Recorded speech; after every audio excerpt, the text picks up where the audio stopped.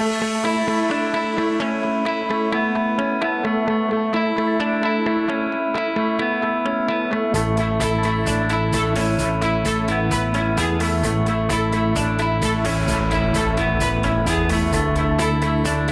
would like to thank all the directors, organizing committees for making this meeting a great success year by year.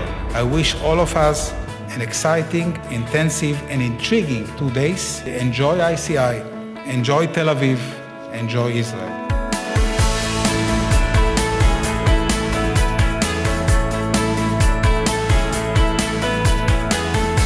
The mission is to bring the most advanced, cutting-edge innovative technologies and therapies in the cardiovascular system and to become the prime meeting focusing on education regarding the entire medical innovation process, bringing together parties involved in all the phases of the innovative process. I take great pleasure in participating in this Congress of Innovations in Cardiovascular Interventions, which has been successfully organized in your country during the last 10 years. We would like to be a little bit ambitious today and we would like to show you live cases from uh, Shaarei Tzedek.